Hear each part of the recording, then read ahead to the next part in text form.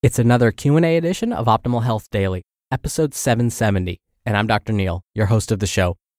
Welcome back to another special Friday edition of Optimal Health Daily, where I answer your questions. On the other days, I read health and fitness blogs to you, kind of like an ongoing audiobook. Now, if you're wondering why bother sending me a question, how do you know whether the advice I'm giving is actually accurate? Well, I do have my Doctor of Public Health degree with an emphasis in chronic disease prevention and nutrition, I also have my Master of Public Health degree with an emphasis in health education and health promotion. I also am a registered dietitian, a certified health education specialist, and a certified exercise physiologist through the American College of Sports Medicine. When I do these Q&As, I try and look at what the data say. I try not to just spend time giving you my opinions on things. Rather, what does the research say? Because that's how we really know what's truly going on and how we can cut through some of these myths out there and get to the real facts. Oh, and when I'm not doing this podcast, I hold three different faculty positions at various institutions. I've been published in over 70 different media outlets. I've hosted presentations at national and international conferences. So the bottom line is, I love talking about this stuff. And I want to make sure that what you're hearing is as often as possible the truth. So let's hear today's question and start optimizing your life. Hi, Dr. Neal. My name is Mina. I love your show. I came across it a year ago and have not missed one episode since. I've learned so much. My question is about probiotics. In non fat, low fat, and whole fat versions of yogurt, kefir, and cottage cheese, do their bacterial concentrations, longevity, and potency differ? Another way I might ask is given the options, what combination and not just a single selection would you eat to improve your GI, particularly in anticipation and in the presence of antibiotics. Thank you so much, Dr. Neal. Thank you for listening and thank you so much for your kind words. Depending on the food source, yes, the probiotic strains found in that food may differ. As you mentioned, probiotics are often found in dairy products, although other food sources can be sources of probiotics too. Believe it or not, these include fruits, vegetables, and soy. Yogurt and other cultured or fermented dairy products are the most commonly consumed foods containing probiotics. I know I mentioned this on the show before, but just to reset, I want to refresh our memories and remind ourselves what probiotics actually are. They are live bacteria that support the health of our microbiome. In fact, it's actually believed the term probiotic comes from the combination of two Greek words, which translate to for life. And yes, foods like yogurt, kefir, and Yakult contain lots of probiotics. Because probiotics are composed of strains of bacteria, you'll find the names of these strains come from Latin. I will do my best to pronounce some of these strains, so bear with me. The majority of probiotic strains available in the marketplace contain species of Lactobacillus and Bifidobacterium. And again, these are most often found in dairy products. But which strains are found in what products? And do these strains have different health effects? Those are totally different questions. So I'll begin with the former. Which strains are found in some commonly found products? Let's start with Yakult. Yakult is a dairy based probiotic drink, and it's made of fermented milk, and we're finding contains L. casei shirota. No, I didn't say my Sharona, it's L. casei shirota. Now, contrast this with the strains found in Dannon's Activia yogurt, which contains B. animalis DN173010.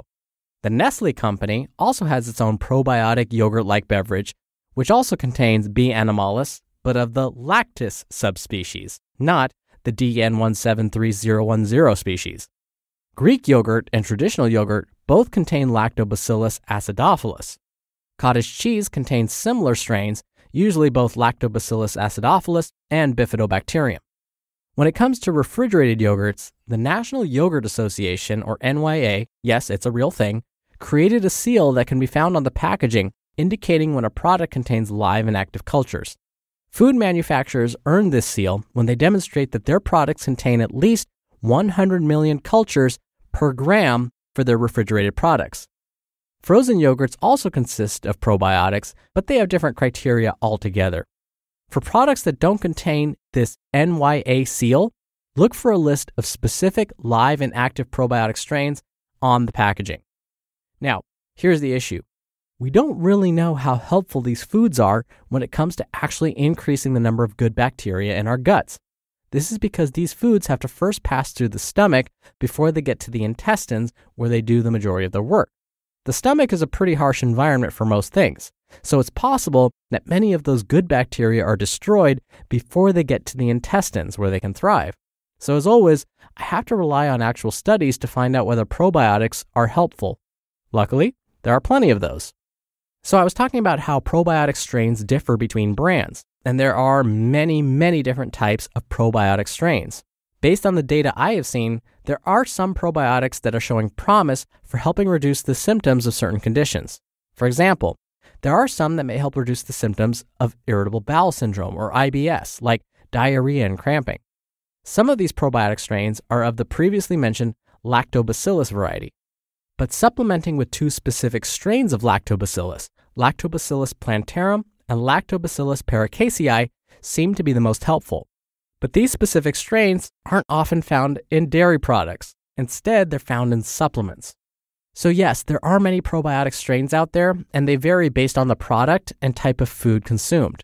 Most probiotics found in dairy products are of the Lactobacillus and Bifidobacterium varieties, but again, there are subspecies of each of these, and that's where we often see differences among dairy products specifically. We must be careful before supplementing with probiotic. So I just mentioned that there are two strains of probiotics that may help with IBS specifically, but they're not often found in fermented dairy products, so they need to be supplemented. But we must be careful before supplementing with probiotics. As I mentioned many times before, the supplement industry is kind of like the Wild West right now. Supplement manufacturers are creating products that aren't being tested by independent third parties. So they're putting fillers in their products and marketing them as supplements. It's very possible that you could go out and purchase what you think is a probiotic supplement, but if we were to actually analyze the product to see what it's truly made of, we might find it contains no good bacteria at all. Or if it does contain good bacteria, there aren't enough of them to make a difference. Most of the studies suggest that getting doses of 1 billion live probiotic cultures may be what's required in order to see any beneficial effects. When it comes to proper storage of these probiotics, we have to be careful. Some require refrigeration, whereas others may be stable at room temperature.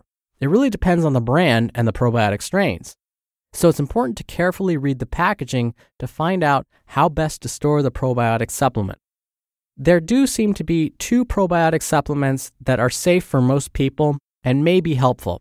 The first would be VSL3 and the other BioK Plus. But as I always say, if you choose to begin supplementing, if you think you want to start taking VSL3 or BioK Plus, please speak to your primary healthcare provider first.